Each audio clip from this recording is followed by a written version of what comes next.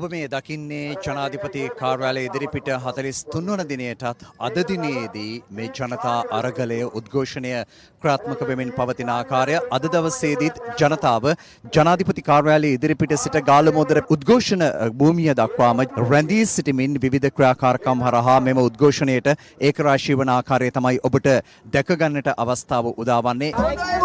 එකතු වෙලා අටවනවා අටවනවා රැවටෙලි තවත් එපා ගෙදර යන්න. ගෝඨාවය ගෙදර යන්න. ගෝඨාවය අද වෙනකොට ජනතාවගේ අත්‍යවශ්‍ය භාණ්ඩ ටික නෑ බෙහෙත් ටික නෑ තෙල් ටික නෑ මේ අය කියනවා ඉදිරි රති දෙක තුන එම නැත්නම් ඉදිරි මාස දෙක තුන ජනතාවට මීට මීට වඩා පීඩාවට පත් වෙන්න වෙයි කියලා. රටේ තියෙන කිසිම ප්‍රශ්නයකට කිසිම උත්තරයක් නැහැ. පාර්ලිමේන්තුවක් රැස් වෙලා බයිලා කිය කී ඉන්නවා. ඔලු මාරුව උත්තරේට අලුත් මගක් ඕඩරේට ගෝටාබය රනිල් ආණ්ඩුවට අපි කියනවා වහාම මේ ජනතා මතර ඉඩ දීලා බලය අත්තරින්න කියන බලපෑම තමයි අපි මේ වෙලාවේ අපි ආණ්ඩුවෙන් ඉල්ලන්නේ.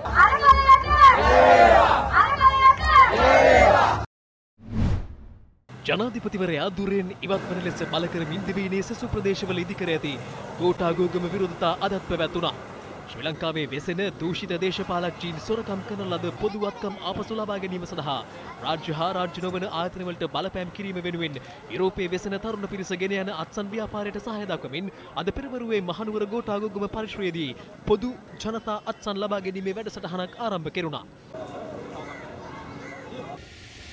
මේ අතර මාතර ගෝඨාගෝගම පිහිටි සිර මැදිරි අසලදී රාජපක්ෂවරුන් අයතා ලෙස උපයන ලද මුදල් නැවත ලබා දෙන ලෙසින් ලැබින් සකස් වෙන මහජන පෙත්සම සඳහා අද දිනේදීත් අත්සන් ලබා ගැනුණා. මේගම ගෝඨාගෝගම විරෝධතාව අදත් පැවැත්වුණා.